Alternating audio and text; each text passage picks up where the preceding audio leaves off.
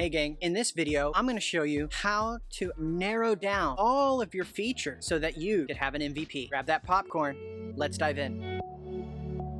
A lot of us come up with these full featured apps. So let's take a look at that. The Chasm by Geoffrey Moore published in 1992. A lot of us have a tendency to focus on a whole product solution when we're doing these boot camps and things because we want to be seen as working on those complex products so people hire us. But that is the opposite strategy that really works. Those companies that we look at today in the mainstream, they're Goliath and we're David. So instead, in the book Lean Startup by Eric Ries, he says you need to focus on the early adopters, not the mainstream takes 10 years to become an overnight success to cross the chasm. All right, so we're not there yet. You got to start with an MVP. Now, here's the user story mapping exercise. It's from the book User Story Mapping. You start with your persona, and the persona has an ambition, a job to be done, this evolution that they're going to go through from caterpillar to butterfly. There's outcome. Here you have these three, these activities that they have to do in order to accomplish this. We have the backbone pink post-its that are the narrative that go across it, and then you finally have these yellow post-its, which are like the features that support that step. And then you draw your magic MVP line, which becomes a release slice. Not only do I draw a line horizontal like this, but I also draw one vertical. So let's get into that.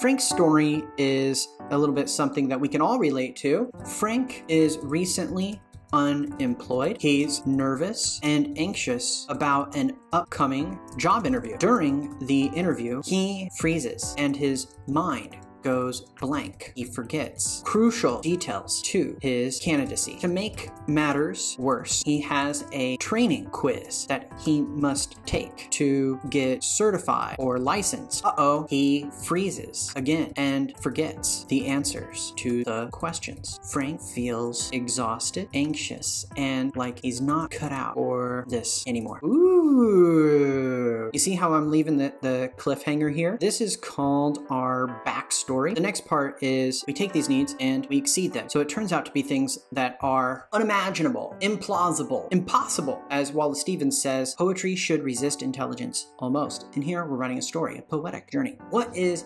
exceeding the need of a job? About to never work again? what about to retire? what about passive income? a feeling of loved by a community, right? Instead of belonging, no need to prove oneself. Oh, interesting. Feeling of understood. And in, you know, instead of relaxed, how about motivated. Okay, so here you can see we did a little tiny persona here of Frank's story of this anxiety ridden moment in, in a human's life. So now that we have our persona here, we also have an agile, what's called uh, user stories. So here you can see like as a user, I want this so that I benefit. The problem with this type of framing is it says want, and we want to put need, not want. And the acceptance criteria is says given how they begin, when this action is taken, then outcome of taking action happens. We can get our user story and we can begin to do that. We can say, as Frank, because our persona's name's Frank, I need a job so that I can feel fulfillment given how I've been unemployed. When I apply, then we want to come over here to our how might we's and get an exceeding Frank's needs, never work again. When I apply, then I never work again. Interesting. You can see how we start to frame these user stories and then they title them, prioritize them, and estimate how much time they'll take. That's the user story part from Agile Manifesto. What we want to do now is move into user story mapping. User story mapping, we're going to essentially start with this story of Frank. I'm thinking I'm just going to write user stories without thinking of the product. And so Frank opens web browser, browses job listings. At some point in here, he's going to have to get the interview. He opens the browser, he browses job listings. Let's just say browses job listings. Perhaps he submits cover letter, you know, we'll just say submits profile, which includes cover, portfolio, etc. And then he gets notified of a job interview, feels nervous, joins the interview. There's probably some, you know, gaps in here, but we can we can just keep going. And blanks afterwards, feels burnout. Here we have our linear user story. It's going from one to the next here. Just bada bing, bada boom. And I'm just connecting those. Great. So that's our backbone. The next step is the features underneath. And so for example, let's get another sticky note out and we're gonna make this one yellow. And so if he's browsing job listings, Frank, I need to see jobs that are available so that I can apply. Given how I've been nervous when I get an interview, then I am loved by community. Wow, that's cool. Get an interview,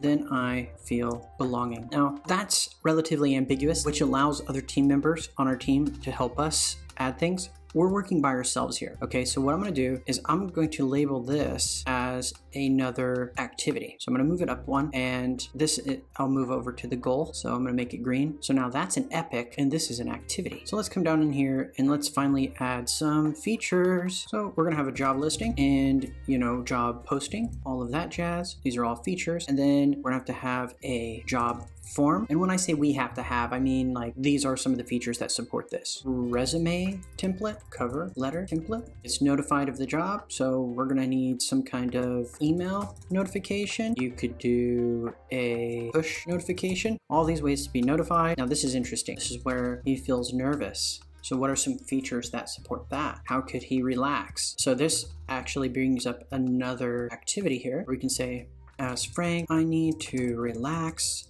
so that I can remember details when I join the interview, then need to feel belonging. Okay, so how do we go from nervous to a sense of belonging? This is where HummDrum comes in. For example, listen to classical music. That's been shown to help reduce. So we could listen to classical music. We could also listen to music that is catered to those with anxiety. We saw that with Spoke. And then we could also meditate and we could also actively play music like a piano. That has some scientific evidence behind it. Or what if they don't have a piano? They could actively whistle, hum, tap. Oh, interesting. And we could go on and on and on as we do this. Now, in the traditional user story mapping, we'd fill all these out and we would draw our line for MVP, and then we would only do this first release. If that was the case, we'd end up doing a job platform. Not that that's bad, that's pretty cool. And Pieter Levels, he's done Remote OK, and he's doing pretty good with that passive income strategy. So it's not like it's unfound. It's definitely a plausible thing. The issue is that's not the area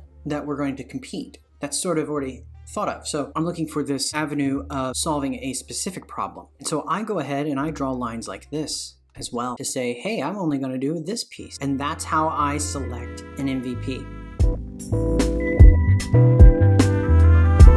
And so this is where I move into this type of MoSCoW method, which means it's like a must have, should have, could have, won't have. And this is the the priority method. Remember earlier it says, what's the priority of this? Is it a must have or a won't have? Is the simplest way think of that. Now, I think that HummDrum should have music listening. I'm like sort of a fan of that. I don't think it'll have meditation, although that might be a thing. So these two I would move down. I think that we should have Frank actively hum or whistle. That's my two cents. I, I don't think we will uh, play piano. I do think that listening to Spoke kind of curated list is better than just, you know, kind of popular classical songs. And so that's how I would prioritize this. So for our MVP, that's all we have to do. Begin with a persona. We set a goal for that persona. We think of the backbone first. Then we come up with activities based on that written